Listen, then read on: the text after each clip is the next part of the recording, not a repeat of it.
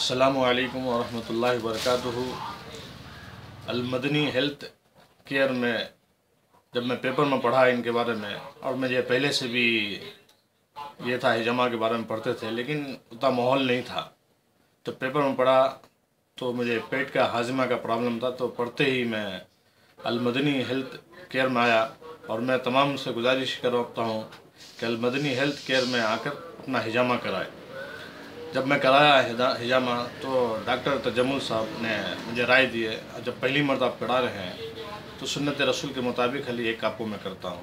میں کرایا، لیکن اللہ کا فضل ہے کہ بہت بڑا فائدہ ہوا مجھے۔ ہاضمہ کا بہت بڑا پرابلم تھا، لیکن کرانے کے بعد کیا تو نیند بھی مجھے بہت اچھا ہے۔ اس دن تقریباً میں دن میں نہیں سوتا تھا، لیکن پانچ چھ گھنٹہ دن میں سویا میں اس دن۔ اور ہاضمہ تو الحمدللہ یعنی ایک دو دن کے بعد، اس فوراً تو نہیں دو دن کے بعد ایسا ہاضمہ شروع ہوا الحمدللہ بھوک بھی اچھا لگ رہا ہے، کھانا بھی اچھا ہے، نہیں تو پہلے بھوک لگتا تھا، لیکن کھانا کھانے بیٹھتا تو کھانا کھانے ہوتا نہیں تھا۔ اس لیے میں تمام سے گزارش کرتا ہوں کہ المدنی ہیلتھ کیئر میں آ کر ہجامہ کرائے۔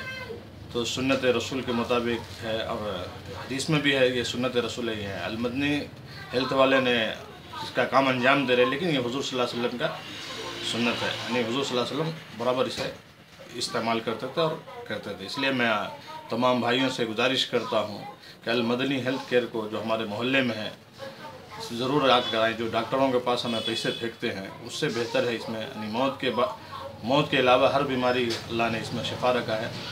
اس لیے تمام سے گزارش ہے، ضرور اس میں ہجامہ کا سنت رسول کے مطابق کرائیں۔ المدنی ہیلتھ کیئر میں۔ السلام علیکم ورحمۃ اللہ وبرکاتہ۔